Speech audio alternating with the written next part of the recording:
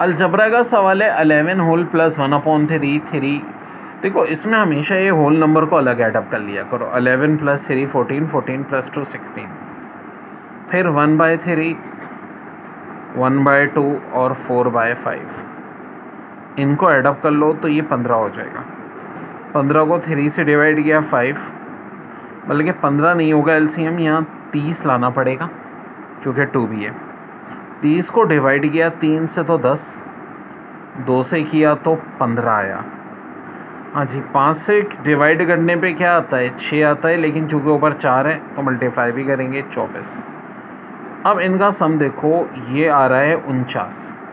Well देखो, उनचास का मतलब है, अभी होल सत्रह है ना, सोलह। उनचास में से अगर मैं तीस माइनस कर दूँ, मैं ये बात क्यों कह रहा हूँ? क्योंकि देखो ऑप्शंस में यहाँ सबके तीस दिया हुआ है। तो सोलह के बजाय कितना हो जाएगा? सत्रह हो जाएगा। यार, उनचास को मैं लिख सकता हूँ ना। One whole nineteen upon thirty ठीक है? नाइनटीन अपॉन थर्टी लिख सकता हूँ। तो सोलह में एक प्लस कर दो, सत्रह। आंसर ये हो जाएगा।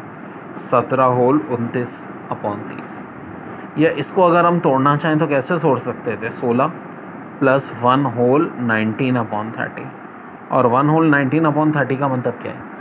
थर्टी वन सा thirty plus nineteen forty nine upon thirty तो दिस इज़ योर ये कह रहे हैं the sum of the present ages of father and son is fifty year also five year ago the father age was seven times the age present age of the father यानी अभी जो है वो father और सन की as fifty years है, ठीक है? और पाँच साल पहले जो फादर की एज थी, वो सन से सेवन टाइम्स आता थी। अब पाँच साल पहले का मतलब क्या है? कि दोनों की एज में से पाँच पाँच साल माइनस होंगे। अभी दोनों का सम पचास है तो आज से पाँच साल पहले दोनों का सम चालीस होगा। क्यों? टेक्निकल बात है। पाँच फादर के भी कम, पाँच सन के भी कम। और फादर सन से कितने टाइम ज़्यादा था? सेवन टाइम तो अंडरस्टूड सी बात है, अक्ल से अगर सोचो तो इसका है फादर थर्टी फाइव था, बेटा फाइव था।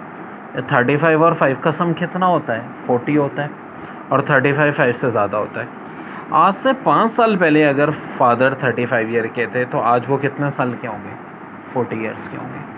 सीधी सादी बात है थर्टी फाइव में फाइव प्लस कर लो। मैं देखें ना, अभी पचास के। आज से पाँच पाँच साल पहले। बहरे फादर की भी कम करो सन तो ओवरऑल दोनों का सम कितना होगा? फोर्टी और फादर सेवन टाइम ज़्यादा थे। थोड़ी सी लॉजिक यूज़ करो। थर्टी फाइव और फाइव एज रही होगी। तो थर्टी फाइव पाँच साल पहले थी, अब कितनी X square plus Y X square equal to X then D Y upon D X at one comma three पहली बात तो ये सेम टर्म है तो ए प्लस ए टू ए होता है, ये टू एक्स स्क्वायर वाई हो जाएगा।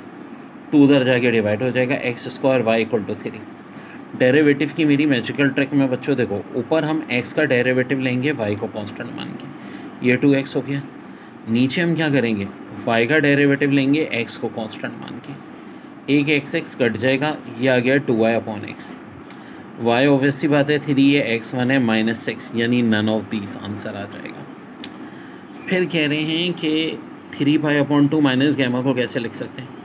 थ्री बाई टू का मतलब होता है टू सेवेंटी और जब भी नाइन्टी का ऑड मल्टीपल हो कॉस साइन में कन्वर्ट हो जाता है। अब two seventy minus theta third quadrant में जहाँ पे कॉस क्या होता है? नेगेटिव होता है। अच्छा जी, ये जो पॉजिटिविटी नेगेटिविटी ये पुराने एंगल के हिसाब से देखते हैं। तो आंसर क्या आ जाएगा आपका? माइनस साइन गैमा फिर टर्म पूछ रहे हैं independent of X in the expansion of X square minus two X upon six देखें, ये सिचुएशन होती है। एन कम्बिनेशन आर ए की पावर एन बी की पावर आर ए की पावर एन माइनस आर यानी माइनस टू एक्स अपॉन पे power R आनी अब आर निकालने के लिए आसान है। यहाँ देखो न्यूमिनेटर की पावर दो है। न्यूमिनेटर डिनोमिनेटर का सम तीन है।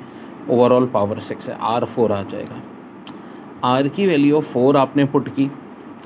तो हम पावर का कम्बिनेशन आर से लेते हैं। तो सिक्स कम्बिनेशन फोर जो कि पंद्रह आ जाएगा। और टू की पावर फोर सिक्सटीन सिक्सटीन को पंद्रह से मल्टीप्लाई करते हैं। फाइनल आंसर बच्चों दो सौ चालीस। स्क्वायर रूट में one minus sine x d x तो बच्चों, इस रिज़ल्ट को याद रखो क्योंकि हर साल आता है ये। हर टेस्ट में।